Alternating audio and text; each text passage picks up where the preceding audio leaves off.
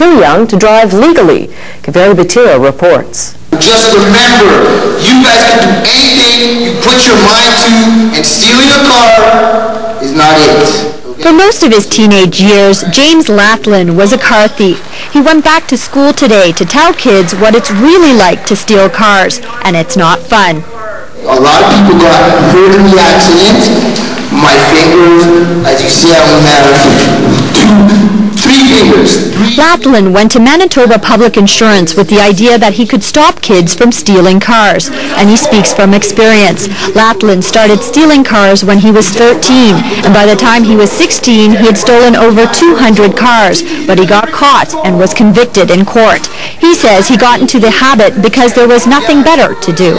There was no basketball courts, there was no no baseball, you know, there was nothing. So basically I went to go steal a car and I had fun doing it, but you know, it caught up to me. MPI is hoping to catch kids before the habit starts. They're the ones being targeted because 65% of those charged with auto theft are teenagers. The kids that are stealing cars, if you if you look back, kids that are stealing cars are kids that are 12 and 13 and 14 years old. That's these kids that are going to be getting, making those decisions in the next while.